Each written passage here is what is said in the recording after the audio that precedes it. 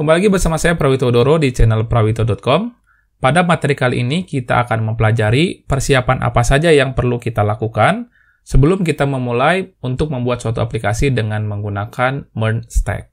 Yang paling pertama yang perlu kita siapkan adalah mendownload text editor yang akan digunakan. Saya biasanya menggunakan uh, Visual Studio Code sebagai text editor saya. Nah, di sini untuk mendownloadnya, kalian tinggal masuk saja ke website resminya, yaitu code.visualstudio.com. Tinggal dipilih untuk operating sistemnya, kemudian di-download. Nah, setelah download langsung bisa digunakan untuk aplikasi text editornya.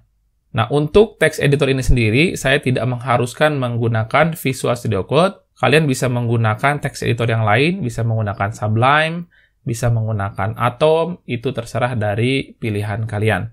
Selanjutnya, untuk database-nya sendiri, nanti kita akan menggunakan uh, MongoDB Atlas, yang mana tidak ada software yang perlu kita install di dalam laptop kita. Nanti kita akan menggunakan server secara langsung, yaitu server dari MongoDB-nya untuk menjalankan database kita. Selanjutnya yang perlu diinstal adalah Node.js-nya. Nah, untuk menginstal atau untuk mendownload Node.js, tinggal masuk ke menu download, kemudian silahkan kalian pilih untuk operating sistemnya, kemudian dia akan langsung download. Nah, karena saya sudah punya, saya akan cancel untuk Node.js-nya. Nah, bagi yang menggunakan Windows ataupun menggunakan Linux, silahkan memilih sesuai dengan operating sistemnya. Selanjutnya, untuk bagian front-end, kita akan menggunakan React. Di sini ada dua front-end yang mungkin akan kita kerjakan, di mana ketika kita menggunakan web, kita akan menggunakan istilahnya React.js. Kemudian untuk mobile, kita akan menggunakan React Native. Nah, core utamanya adalah sama-sama menggunakan library React. Nah, sehingga kalian tidak perlu khawatir dengan mempelajari React, secara otomatis seharusnya akan mudah, baik itu menggunakan React.js maupun React Native.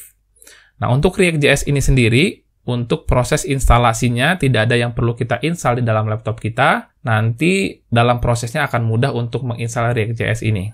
Nah, sedangkan untuk React Native, bagi kalian yang ingin concern di mobile apps, ada beberapa step yang harus kalian install agar laptop kalian siap untuk menjalankan aplikasi React Native ini. Nah, apa saja yang perlu diinstal? Saya sarankan kalian menonton playlist untuk React Native Basic yang sudah saya sediakan di dalam YouTube saya juga.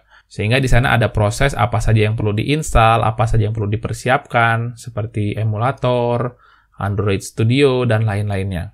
Nah, untuk Merge Stack ini sendiri, kurang lebih itu saja yang perlu dipersiapkan di laptop kalian. Baik, demikian. Semoga bermanfaat.